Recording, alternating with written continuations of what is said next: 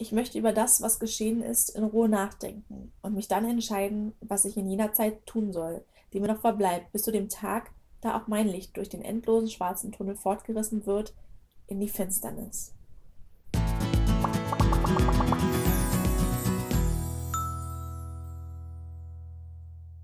Willkommen zu einer kleinen Rezension von mir und diesmal soll es um dieses Buch hier gehen, Carrie von Stephen King. Meine Ausgabe ist hier eine Ausgabe aus der Süddeutschen Zeitung Kriminalbibliothek. Ich habe keine Ahnung mehr, wie viel es kostete. Es hat so rund 230 Seiten, ist aber auch bestimmt in einer 10 Euro Taschenbuchausgabe von Heiner erwerbbar. Carrie ist tatsächlich ein Buch, was ich vor längerer Zeit schon einmal las. Da war ich noch ein Teenager. Also es kann schon, ich habe gerechnet, es ist noch nicht ganz 15 Jahre her, aber so um den Dreh, also so 12, 13 Jahre muss es her ähm, sein. Und ähm, mich hatte einfach auch ein bisschen die Stephen King-Lust äh, gepackt, mal wieder. Ganz besonders, weil nämlich, äh, wer es vielleicht von euch kennt und ihr vielleicht auch gerne Podcast hört, dann habe ich eine sehr gute Empfehlung für euch. Und zwar äh, den Podcast mit dem Namen Club 19. Ins Leben gerufen von Simon und Dominik. Die kennt ihr vielleicht aus ähm, Rocket Beans bzw. Rocket Beans TV, besonders Simon Kretschmer. Den ja, kennt man eigentlich.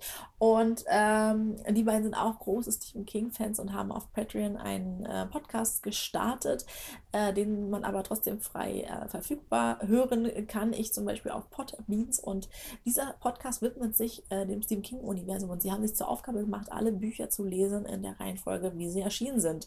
Und natürlich fängt alles mit Carrie an.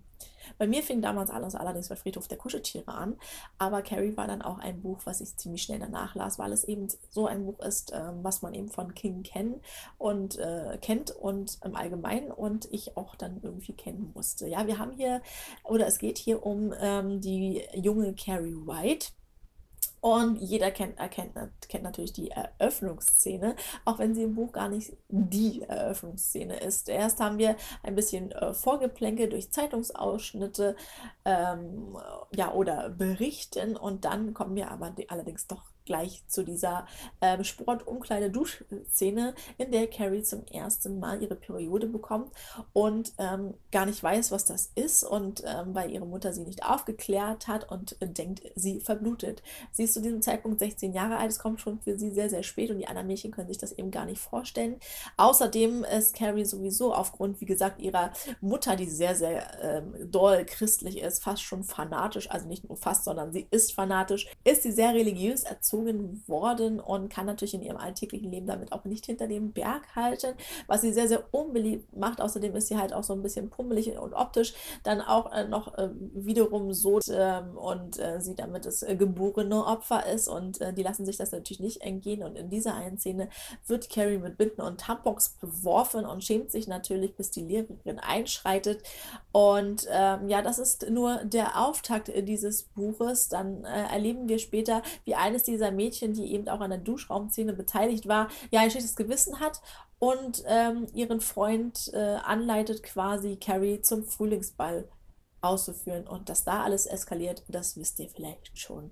Denn Carrie hat telepathische und telekinetische Fähigkeiten, die immer dann zum Vorschein kommen, wenn sie besonders emotional aufgerührt ist. Ähm, das hat sich schon bewiesen, zum Beispiel in ein paar Szenen mit ihrer Mutter, ähm, wo sie eben nicht, das nicht mehr ertragen konnte, von ihrer Mutter so behandelt zu werden, ja, mit Züchtigung. Ähm, da hat sie sich eben auf diese Art und Weise ja, ihrer Mutter erwehrt und dann auf dem Frühlingsball Ihr könnt es euch denken. Wie gesagt, Carrie ist äh, nicht äh, das aller, allererste Werk von Stephen King, allerdings das erste, was äh, tatsächlich veröffentlicht worden ist. Und alle kennen diese berühmte Geschichte, wie es in den Papierkorb gelangte und ähm, seine Frau es dann daraus rausholte und sagte, das ist doch gar nicht so schlecht und schick es doch ein. Und er hat es getan und wir wissen, was daraus folgte. Und ähm, ja, das war wieder sehr, sehr interessant für mich persönlich, dieses Buch noch einmal zu lesen. Und hier, das Buch ist für ein King King sehr, sehr, also für einen heutigen King sehr, sehr kurz und sehr, sehr pointiert in dieser, in, in dieser ganzen Erzählweise. Das heißt, er baut nicht so viel hin äh, drum herum, er ergeht sich nicht in endlosen Beschreibungen, die wir ja aus seinen äh, größeren, dickeren, neueren Werken kennen, wenn er da mal wieder zu ausschweifig wird quasi. Aber hier ist wirklich alles auf dem Punkt genau und ähm, manches auch ein bisschen der Fantasie des Lesers überlassen, was gar nicht so schlecht ist. Denn King hat auch in seinen kurzen Werken eben ähm, ja die Fähigkeit, äh, das zu erzählen, was er erzählen möchte und ähm, so, dass wir in unserem eigenen Kopf die Bilder ähm, ja hervorrufen können. Ähm, das Ganze ist eine Mischung. Im Buch wurde das so geschrieben. Eigentlich war Carrie normal nur eine Erzählung und der Verlag fand es aber irgendwie zu kurz und der sollte es noch ein bisschen verlängern. Und deshalb gibt es diese Einschiebungen hier drinne, die ähm, ja Zeitungsartikel beinhalten oder auch ähm,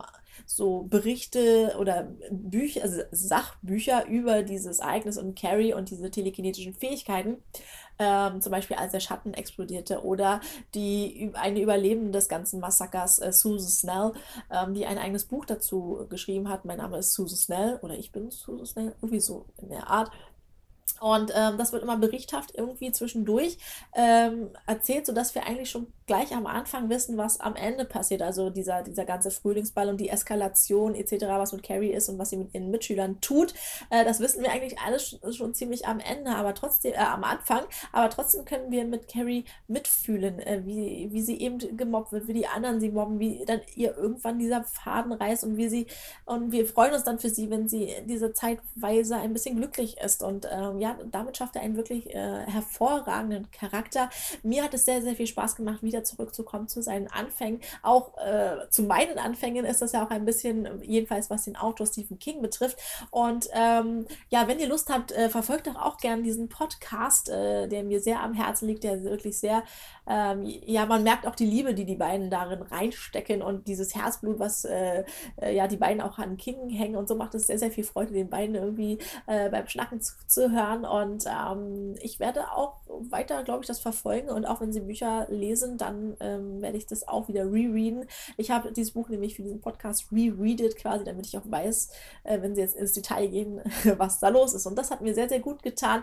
Und äh, an dieser Stelle dieser alte Stephen King-Klassiker, eine absolute Empfehlung von mir. Das war schon mal meine Video. Wie gesagt, Carrie ist auch ein sehr, sehr dünnes Bändchen. Habt ihr denn Carrie auch schon gelesen oder was sind eure Stephen King-Erfahrungen? Was war euer erstes Stephen King-Buch? Buch jemals und äh, hat es euch süchtig gemacht oder, oder sagt ihr, nee, der Autor ist absolut nichts für mich, dann lasst es mich doch gerne wissen und ansonsten sehen wir uns das nächste Mal wieder. Bis dahin, bye bye.